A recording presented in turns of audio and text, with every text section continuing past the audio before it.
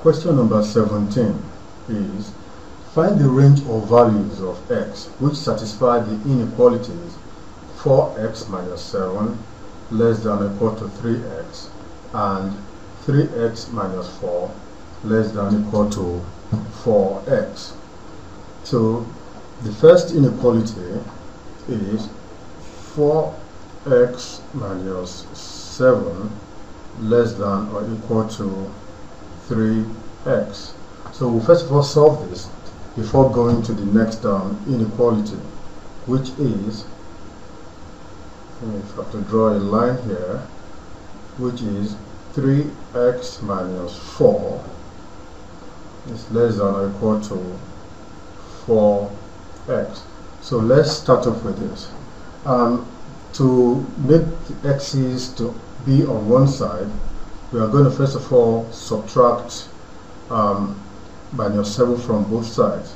So 4x minus 7, so we are going to add 7 to both sides so that we can nullify the 7 on this side plus 7 less than equal to 3x plus 7 and that will give us 4x less than or equal to 3x plus 7 so the next thing we are going to nullify the 3x on this side and so that all the x's will be on the same side.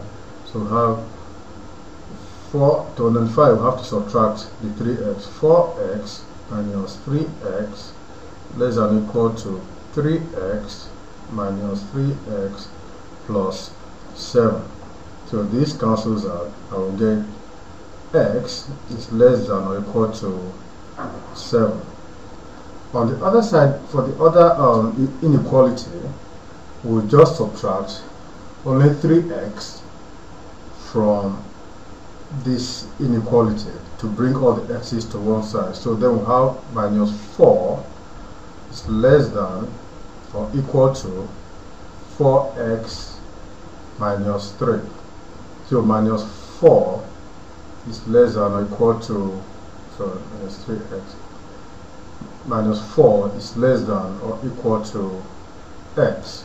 So now if we are to put these two in a line diagram like this where we have um, 7 here and minus 4 here. So for this one it says x is less than or equal to minus um, x is less than or equal to 7 so this is a maximum that uh, x can get to 7 and for this it says minus 4 is less than or equal to x. So this is smallest than that x can get to. Essentially x can occupy any value in this line space. So that would be x. So which means minus 4 is less than or equal to x which is less than or equal to 7 so minus 4 is less than or equal to x and x is less than or equal to 7 so that will be our answer. And if we look among the options we have that minus 4 is less than or equal to x is less than or equal to 7 our answer will be A Oh, welcome back. Did you enjoy this video as much as I did? Well, I hope so. And did you actually remember to share the video before you started? Well, in case if you did it, it's not too late, you can still do it. If you're watching this video on Facebook, please hit your share button so that other people can see it and enjoy it. And also, hit the like button. It costs you nothing. And if you're watching it on YouTube, please hit my subscribe button so that when I upload new videos, you'll be regularly updated.